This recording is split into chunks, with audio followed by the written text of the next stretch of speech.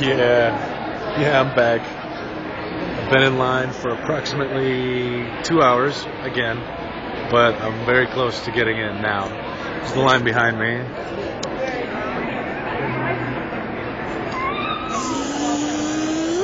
Stops there.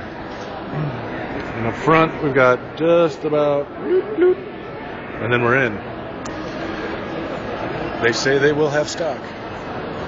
Just ate some pizza, and um, and yeah, I I'm tired, and I can't believe I came back. To be perfectly honest, because when we got in, I got in line, started talking to some of the other dudes that were here. And, well, you know, we're guessing how long it's going to be, and the Apple guy's like probably like four hours. Like, oh,